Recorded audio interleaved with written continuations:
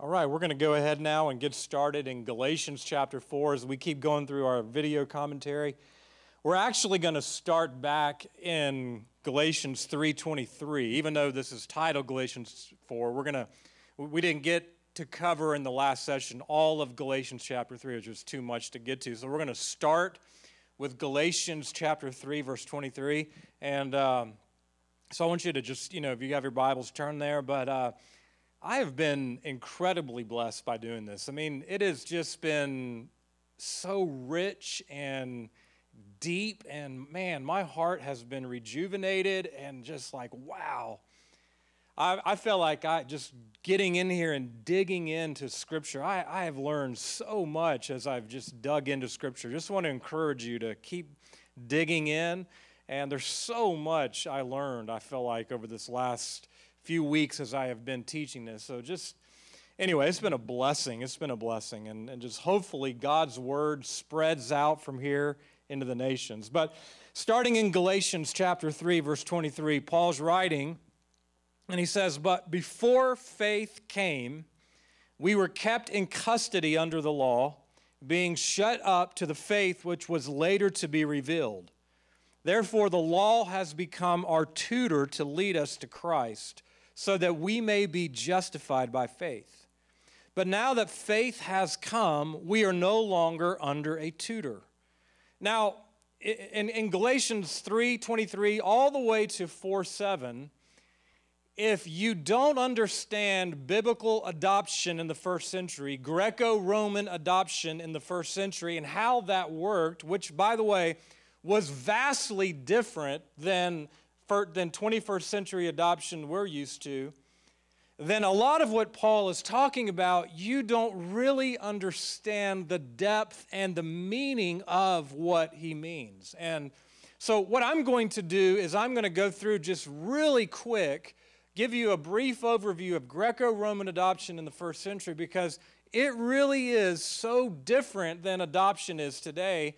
And I go into great detail about this in my book, The Eternal Blueprint. I spent an entire chapter basically going through adoption in the first century. I mean, it, when, I, when I really understood that, my eyes were opened because if we don't understand the historical context an author was writing into biblically, then we really can't grasp all that God is trying to say through the Holy Spirit, through that writer, if we don't set ourselves back in the first century. And so, Paul is writing uh, about that. And so, just to give you a very brief description of Greco Roman adoption in the first century, it basically had three phases. The first phase was placement into the family. And, and actually, let me take a step back and say this adoption in the first century was not so much about giving parents a child and a child a parents, it was much more related to giving a father who didn't have an heir, giving that father someone to pass down his inheritance to, so the son, and that son would be a mature son, not a child, but a mature son, would be able to handle the inheritance. And so a lot of times, adoption, in fact, this is what it means in the Greek, it means son placement. The, the idea was that a mature son was placed into or over a father's inheritance having the character and the uh, ability to be able to steward that inheritance so the inheritance would not be squandered. And you're familiar with the parable of the, the, um, the prodigal son. And he took the inheritance and he went and he squandered his father's inheritance. Basically, the idea behind first century adoption was to make sure that a, that a son who was going to inherit was mature enough and had the character so that he would not squander the father's well earned, you know, just over his entire life, all the blood, sweat, and tears that has come to uh, have this money and this wealth. So it would not be squandered by foolishness. It would not be squandered by living that was just, just foolish. And so, uh, so anyway, that's kind of the, the idea uh, of Greco-Roman adoption in the first century. It was more about an inheritance than it was about having some a new family member. So that was, the, that was the, the idea there. And so the first phase of Greco Roman adoption was placement into the family.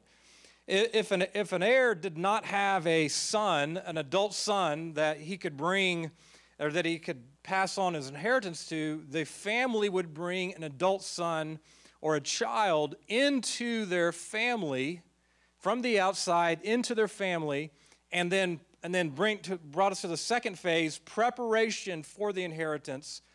The, the heir the one who is designated to be heir uh, whether natural born or outside the family would then be placed under a child trainer. And uh, this is what paul's alluding to here in galatians is he's placed under a child trainer, and that child trainer would groom that child, usually very immature at the time, would groom that child to prepare him, to get the foolishness out, to get wisdom into him, to get him prepared character wise so the child would be able to handle and steward the father's inheritance. And so, you know, that time period there was really no set time period. It was all based upon the maturity of the child and how, whether or not the father felt like the child is now ready for placement into the inheritance. The third phase is placement into the inheritance. And, and as I mentioned before, the Greek word adopted as sons is one Greek word that means son placement. And so it's placing a mature son over the inheritance. And so when the, when the heir was fully trained and prepared, the father would then place him as the legal heir of the inheritance, giving him the full rights of sonship. And so that's the background that Paul's speaking into in Galatians, at the end of Galatians 3 and the beginning of Galatians 4. And if we don't have that understanding, if we don't have that first century paradigm of thinking, that perspective of thinking, then when we read it, it doesn't make a lot of sense to us. And I know I read this for so many years, just going, what is he even talking about? Why is the law called a tutor? What, what does it mean to be kept in custody? What does all that even mean? And until I understood Greco Roman adoption in the first century, it made no sense to me. But once I understood it, I, uh, I realized, oh, wow. Paul is wanting to, Paul is teaching something I had no frame of reference for, and now that I have it, now I see what he's saying, and now I understand what he's saying.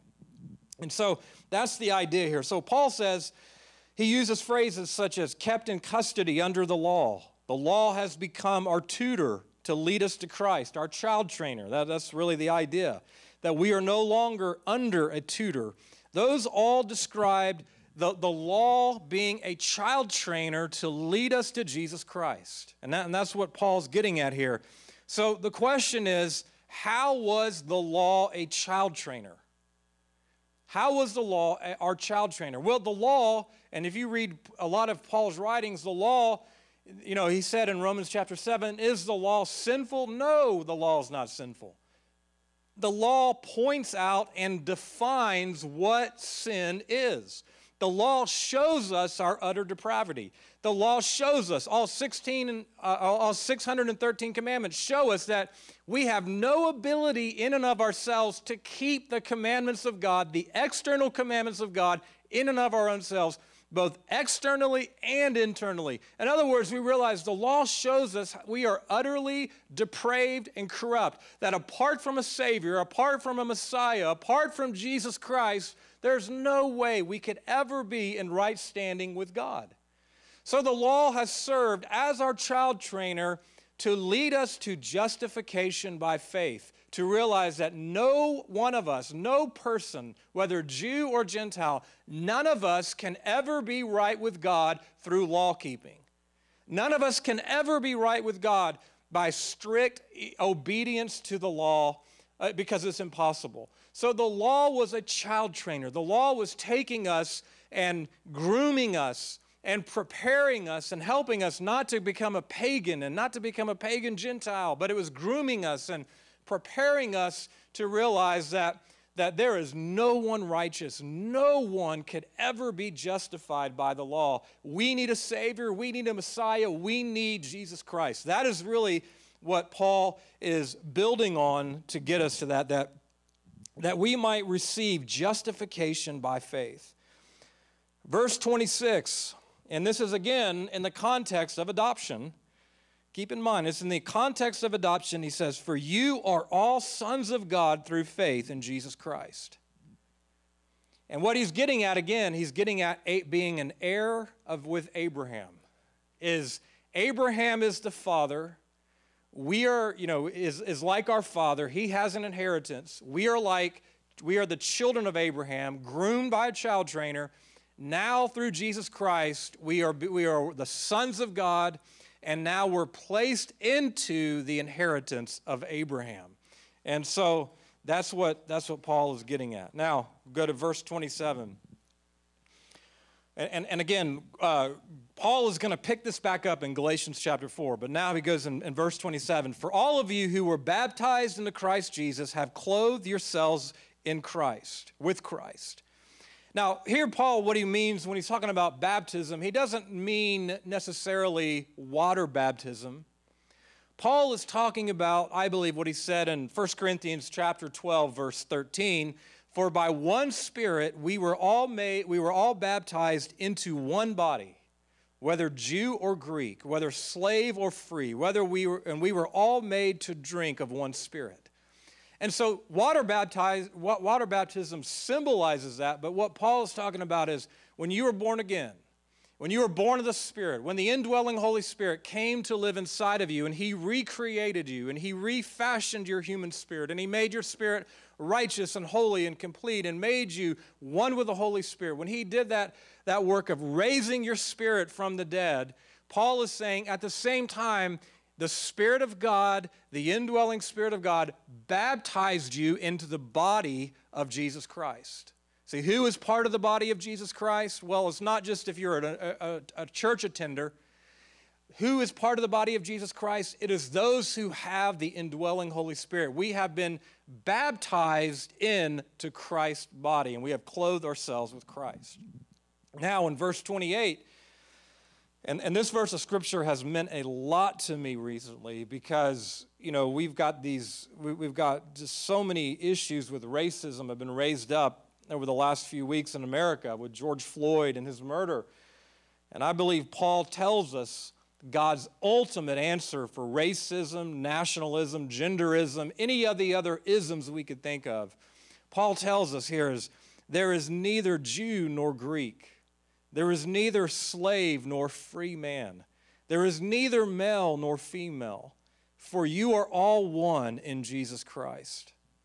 Man, do we need to hear that right now in America and around the world, really, is, is that there is not Jew or Gentile. There is not black or white in the body of Christ. There is not male or female. There is not any, any, any distinction in the body of Christ between race, nationality, or gender. You are all one in Jesus Christ. And so, you know, with George Floyd's murder, you know, racism, that this whole issue has been raised up.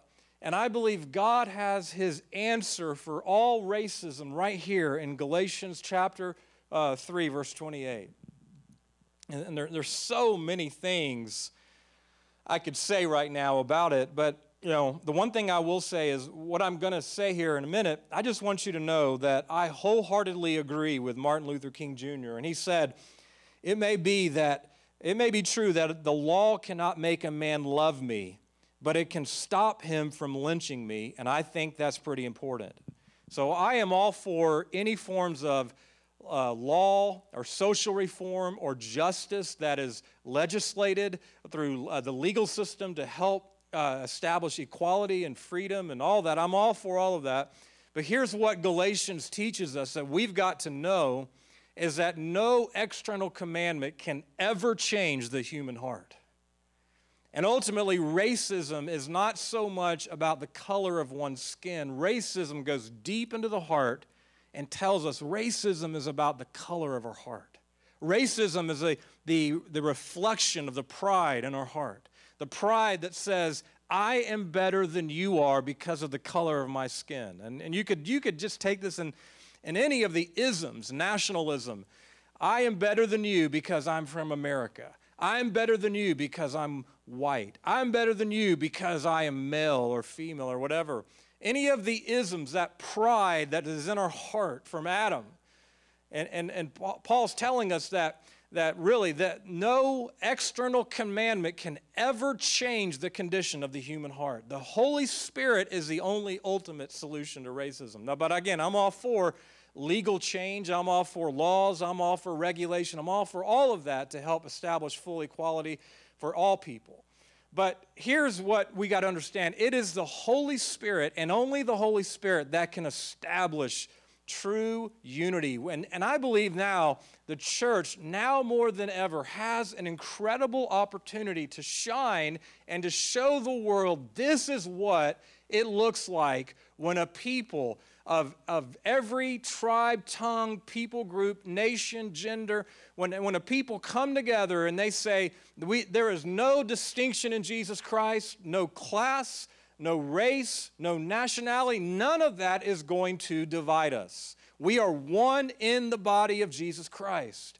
And I think we have an incredible opportunity right now to shine forth to the world to show this is what it looks like when racism comes to an end.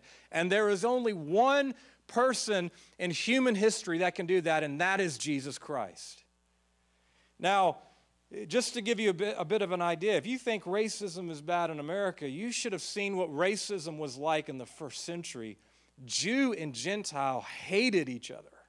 We, we don't even have an understanding of the racism between Jew and Gentile in the first century. See, because of the law, and Paul talks about this in Ephesians chapter 2, because of the law, the Jews were separated from the Gentiles. And so the Jews uh, established this idea that Gentiles were uh, dogs, they were demonized, they were idol worshiping pagans. And, you know, we can't get near them, we can't eat with them because if we eat with them, we'll be defiled by them. And, you know, they, they established this entire idea that Gentiles were dogs. They were just, they were, they were idol worshiping, demon worshiping people. Well, the Gentiles didn't appreciate that, and they looked at the Jews as holier than thou people. And they were, their mouth was watering throughout history to say, okay, whenever the Jews violate God's law, we are waiting to go so that we, the firewall of God's protection can come down so we can go and harass them, we can persecute them, we can conquer them, we can drive them out of the land. And you see that with Assyria, Babylon, Rome, Greece. You see that. And so, anyway, there was this incredible animosity, incredible division, incredible uh, separation between the Jews and the Gentiles. In fact, Peter, when we looked at this earlier, Peter, when he had the vision of the, of the sheet coming down out of heaven in Acts chapter 10, the Lord had to tell him basically three times Peter, don't call unclean what I am now calling clean. In fact, the Lord even had to tell him, even after this incredible trance where he saw basically the, the gospel going to the Gentiles, the Lord had to tell him as he's going downstairs, there's Gentiles that are here to take you where you, to, to take you to minister to them. I want you to go without any misgivings. I mean, because it was so ingrained into the Jewish mindset of the first century that Gentiles were defiled, Gentiles were demonized, and there was a massive divide between them. And so here, I love what Paul is, is getting at here in Galatians is that, is that the, the law, and he, he mentions this in Ephesians chapter 2, verse 14. The law, which, and we saw this in the last session, the law which set apart the Jews for, for hundreds of years until the Messiah came, keeping them distinct, not because God thought they were better than the Gentiles, but because God wanted to bring forth a remnant. God wanted to preserve a remnant. God wanted to sanctify a remnant so that he could bring forth the Messiah. And so the law served as a separation between Jew and Gentile so that the, the, there would be a remnant that could bring forth Messiah.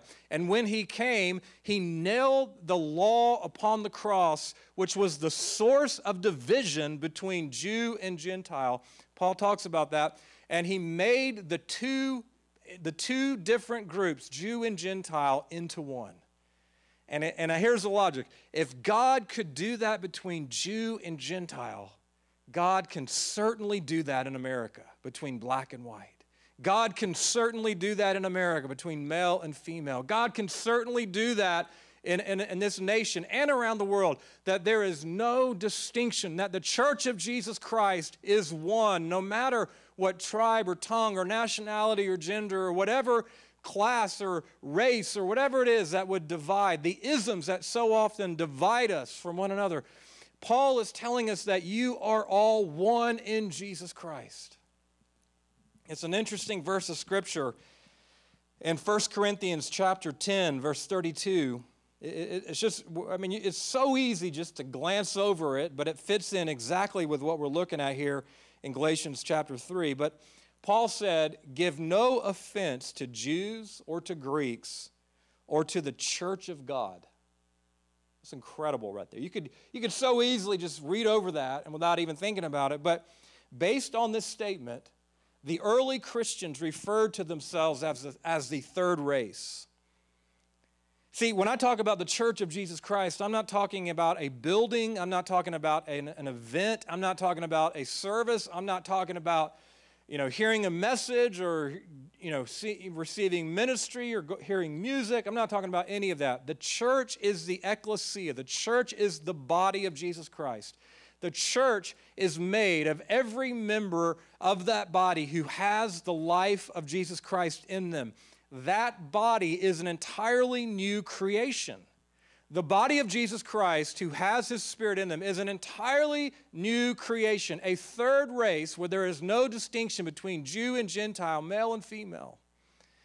It's incredible that what God, God's ultimate plan and answer for racism is through his body by his spirit. I could say a ton more about that, but I need to move on or we'll never end here. So now in, in verse 29, Paul says, If you belong to Christ, then you are Abraham's descendants, heirs according to promise. And again, he's, he's bringing in the metaphor of first century adoption. The law is our tutor, leads us to justification in Jesus Christ. We, when we receive by faith, uh, when we put our faith in the finished work of Jesus Christ, we are like the sons who are placed into the inheritance of Abraham. And we saw earlier that the blessing of Abraham is the indwelling Holy Spirit.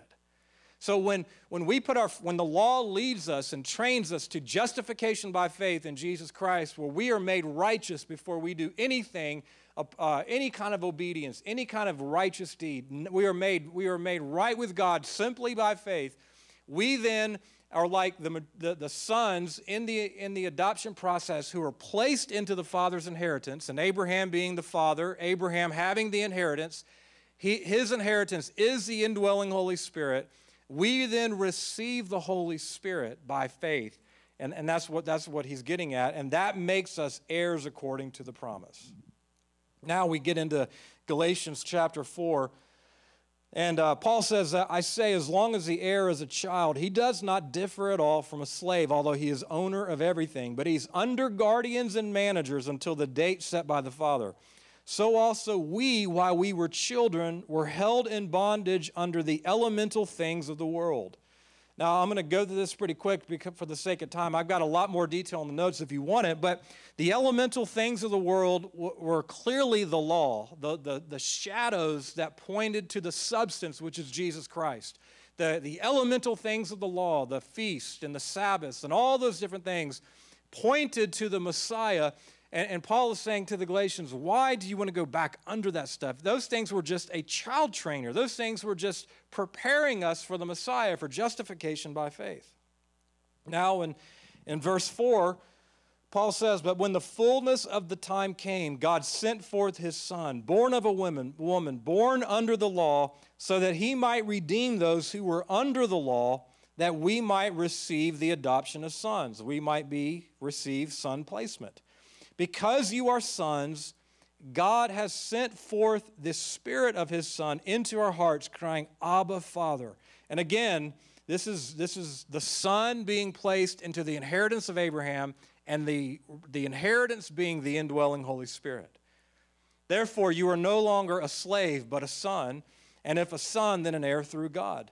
Our, our adoption is, is placement into Abraham's inheritance. So let me just summarize this before we move on from Galatians 3.23 to Galatians 4.7. Abraham is our father and he has an inheritance.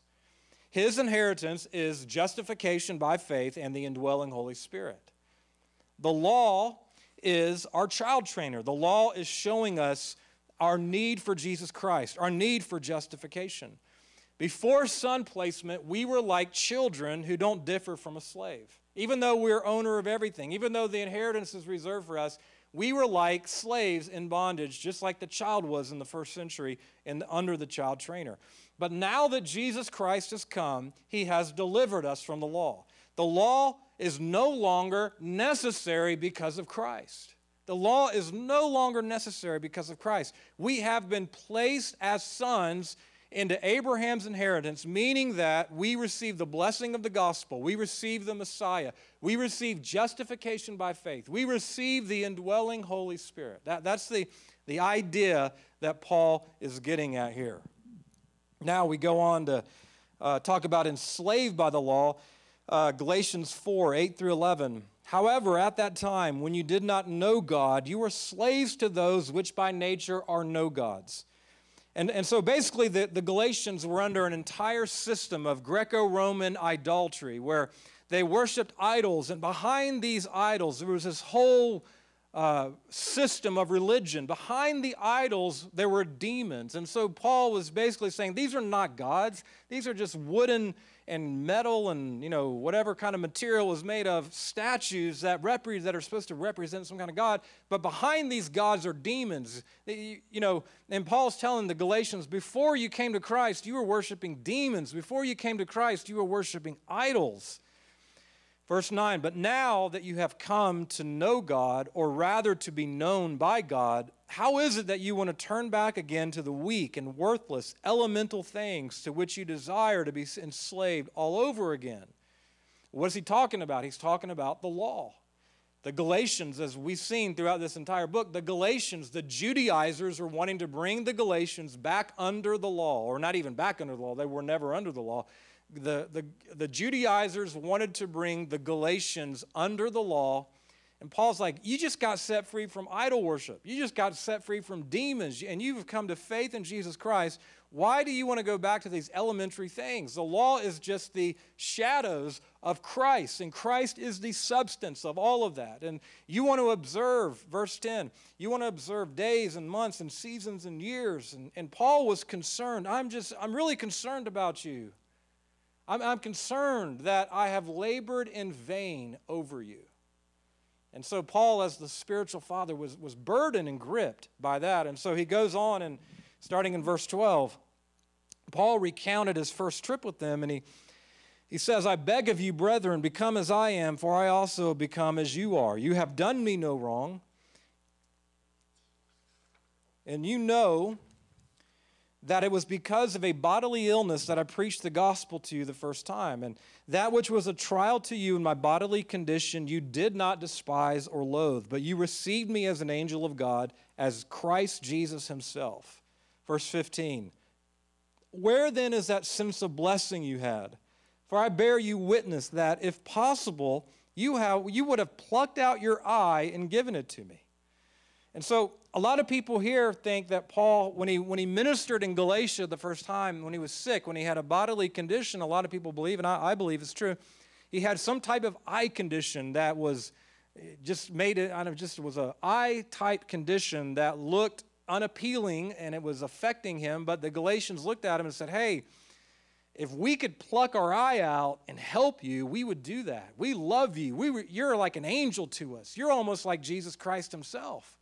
And so Paul's like, okay, I don't understand, guys. When I first came to you, it was incredible. We were one, and you received me like an angel. You received me like the Messiah. You would have even taken your eye and given it to me. I mean, it was an incredible time we had together. The Spirit of God was moving, and all of a sudden now things are a little different. I don't, I'm perplexed by that. Why do you want to go back under the law? In fact, in starting in, in verse 16, Paul is talking and, he, and he's saying, okay, have I become your enemy by telling you the truth? Have I become your enemy by telling you the truth? I'm telling you, guys, I'm telling you, don't go back, un, don't go under the law. It is your death sentence. You will never, ever be right with God. It is your death sentence. Am I your enemy now because I'm telling you the truth? Am I your enemy because I'm speaking the truth to you in love? Verse 17 He's talking about the Judaizers. They eagerly seek you, not commendably, but they wish to shut you out so that you will seek them. Wow. Paul's telling us the Judaizers are masquerading as being these people who are just so holy and so, so righteous and all these, they've, they've done everything blamelessly what the law says, but inwardly, Paul's pointing out what they want, Galatians, is they want to be your spiritual overlord.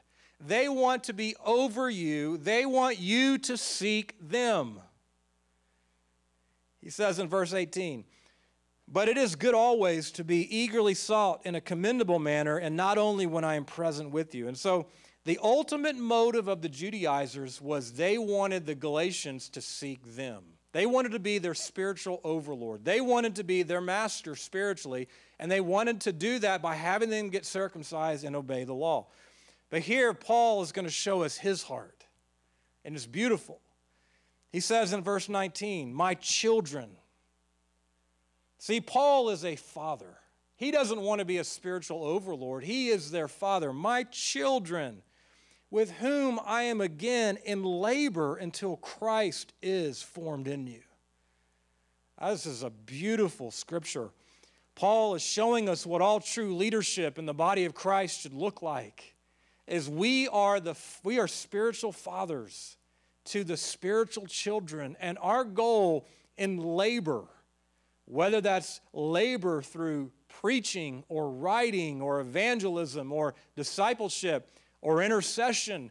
Our goal in this labor is we want to see Jesus Christ formed in them. That is, that is the ultimate intention. That is God's ultimate plan is to have a group of people, the body of Jesus Christ, that have the indwelling life, that have the indwelling life of the Son in their spirit, to have that life worked out, to have their heart formed and filled with Christ, to have their minds and wills and emotions formed into the image of Christ, to have their bodies reflect the, the nature and the character and the actions of Jesus Christ. Paul was in labor saying, You are my children. I am your father. I am not coming to be your overlord. I am not coming to put you under me. I am a spiritual father to you. There's many teachers, there's many people who are teachers around the world. There's many people who are teachers, but I haven't come to be your teacher. I've come to be your father. You are my spiritual children, and I am laboring for you. I am working for you so that God's ultimate intention to conform you into the image and likeness of Jesus Christ, Romans 8:28, I believe, or 8:29, is to conform us into the image of his son. And that's what Paul was doing. That's what Paul was was laboring for. Verse 20, he said, I, I wish, it's actually Romans 8 29, but I wish to be present with you now to change my tone, for I am perplexed about you. Finally, Paul is admitting what we picked up on in the very first sentence of Galatians. He has a certain tone about him. He's perplexed, he's frustrated, he, you know, it's just like if you have kids and they're doing something that is foolish, and you look at them like you're, you're, you're as parents, and you say, "What are you thinking? What are you doing? Why did you do this? What did you do? Why did you do that?" And Paul's like, "My children, why? I, I can't even comprehend. why do you want, having been set free from the law, why do you want to go back under it?" You know, the law for, for however many years, for centuries, has been leading us to the Messiah. The Messiah has come, He's resurrected, His Spirit has been poured out, and now you want to go back under the law? It's like I'm perplexed, I'm frustrated. And he gives another analogy here in verse 21. He's, he's asking, he's basically asking, do you want bondage or freedom? And so he's just continuing to drill into the Galatians angle after angle, you know, line upon line, teaching them and saying to them, why do you want, why do you want to go under the law? And he tells me in verse 21, tell me, you who want to be under law, do you not listen to the law? Verse 22, for it is written that Abraham had two sons, one by the bondwoman and one by the free woman. Verse 23 But the son by the bondwoman was born according to the flesh, and the son by the free woman through the promise. Verse 24 This is allegorically speaking, for these women are two covenants one that proceeds from Mount Sinai, bearing children who are to be slaves. She is Hagar. And verse 25, but this Hagar is Mount Sinai in Arabia and corresponds to present Jerusalem, for she is in slavery with her children. And then verse 26, but the Jerusalem above is free, she is our mother. And so let me just summarize this here for us. Is Hagar, you know, going all the way back to Genesis chapter, I forget the exact, reference, the exact Genesis 15, 16, somewhere in there. Hagar is the mother of those who are under the law. She symbolizes Mount Sinai in Arabia. She is the mother of the old covenant. She is the present Jerusalem with her children who are in slavery. Ishmael, born according to the flesh, is a picture of the, of the Jewish people in Jerusalem still trying to be justified by the law. And Paul says, But Sarah, she is the Jerusalem from above. She is our mother. She pictures the Jerusalem from above, who is our mother. She pictures the new covenant. Isaac pictures those Jew and Gentile, born of the Holy Spirit, born through reborn through justification by faith. She pictures Isaac and the, the child by promise. And he says, okay, uh, you know, he's like, which one do you want to be? Do you want to be in bondage? Do you want to be in, under in shackles, in chains, or do you want to be set free and be like Isaac?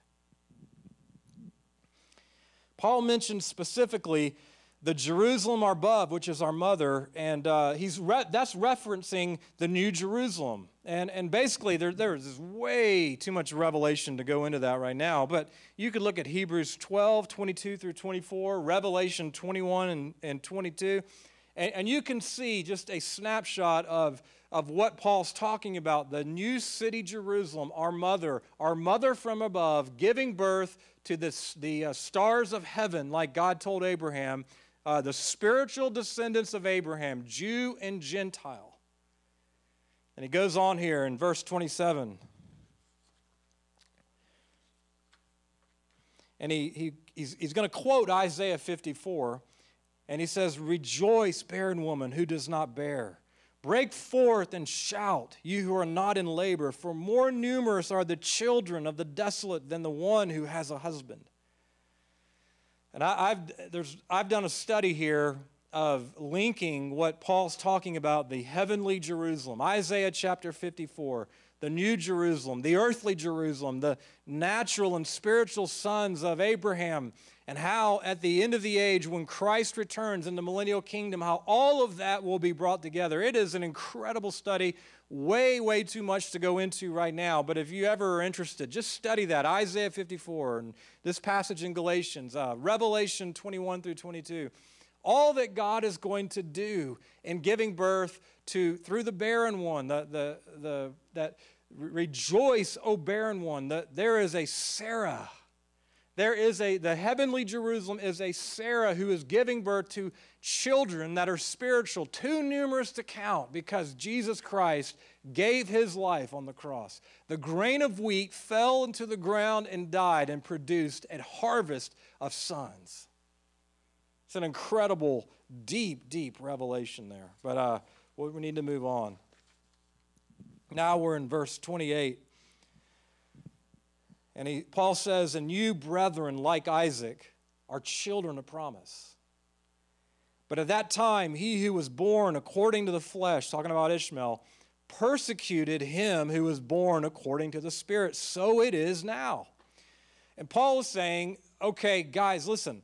The Judaizers who want you to be circumcised, the Judaizers that want to place you under the law, they, they are just like Ishmael was to Isaac. They're persecuting you. They, I, Ishmael persecuted Isaac back then. The Judaizers are persecuting you now. And, and, and so he, his logic is okay, listen, legalism and dead religion and the traditions of men have no inheritance with the children of promise born of the Holy Spirit. The two cannot coexist, they cannot be together, they are incompatible. And his logic here in verse 30 and 31, he says, What does the scripture say? He says, Cast out the bondwoman and her son, for the son of the bondwoman will not be heir with the son of the free woman. Free woman. Verse 31 So then, brethren, we are not children of a bondwoman, but we are children of a free woman. And so Paul is telling us, guys, here's the logic Ishmael and Isaac could not coexist.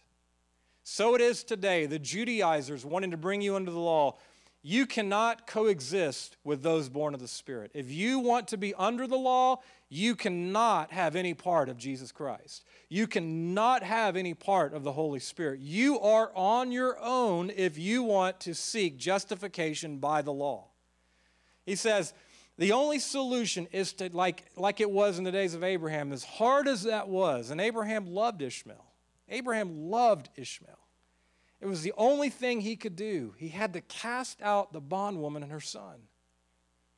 His religion and legalism has no place of the, for, in the lives of those born of the Spirit. You could say it in your own life. That, that in any place in your heart where there is legalistic tendencies, God would say, cast out that bondwoman and her son. Cast out that religion. Cast out that legalism. Cast out that seeking to be justified. Cast out that self righteous determination to be right with God and to please Him by how well you obey Him. Cast that out. It has no place in those who are led by the Spirit. It has no place in those who are led by and living by the Holy Spirit. Cast it out. It has no place. It could be said in churches. There's churches where people want to bring back people under the law and bring back people to say, if you don't do this, if you don't pray enough, if you don't fast enough, if you don't read the scriptures enough, then you really can't be right with God. You can't be on the cutting edge. This whole idea that you've got to do, do, do for God to be accepted by Him or to be holy. Holiness comes by our obedience and the response of the, the Spirit of God living in us and our yieldedness to Him. And, and even in churches, there, there, you know, churches can be divided over legalistic tendencies and religion, and those that want to go on just being led by the Holy Spirit. God would say, You got to cast out the bondwoman and her son. That there is no place, there can be no mixture between legalism, no mixture between legalism and dead religion and the, the fresh move of the Holy Spirit. And so we're going to bring. We're going to bring uh, session Galatians chapter 4 here to a close. There is a, a mouthful there is a tremendous amount that I went through, and I went through it pretty fast. Um, you, you, can get, if you want to just, and I know it's just almost like a fire hose just coming down at you, but if you want to go deep in this, just get the notes. The notes go line by line, detail. There's a lot more detail in the notes, and, and just really seek to understand it. So, anyway, we'll bring session four now to a close.